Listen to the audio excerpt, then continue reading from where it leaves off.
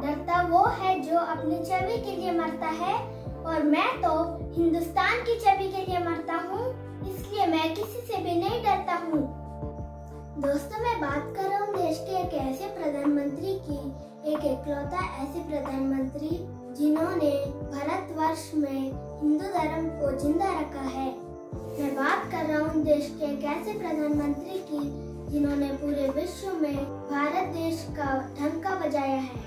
जी हाँ दोस्तों, मुझे उम्मीद है कि आप सभी समझ गए होंगे कि मैं बात कर रहा हूँ भारत के सबसे शक्तिशाली प्रधानमंत्री श्री नरेंद्र मोदी के बारे में।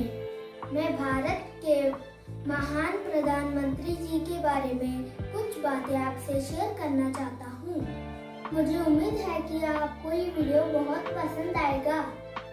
नरेंद्र मोदी जी भारत के वर्तमान प्रधानमंत्री है।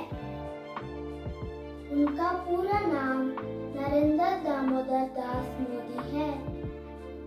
उनका जन्म 17 सितंबर 1950 को वडनगर गुजरात में हुआ।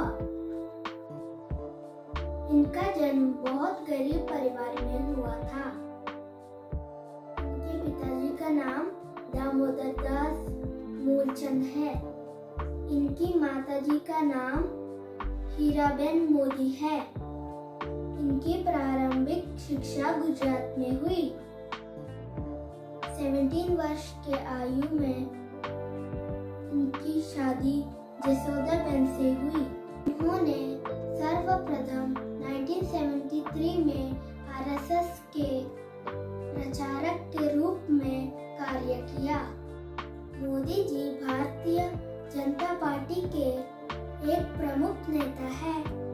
2001 में मोदी जी गुजरात के मुख्यमंत्री का पद संभाला।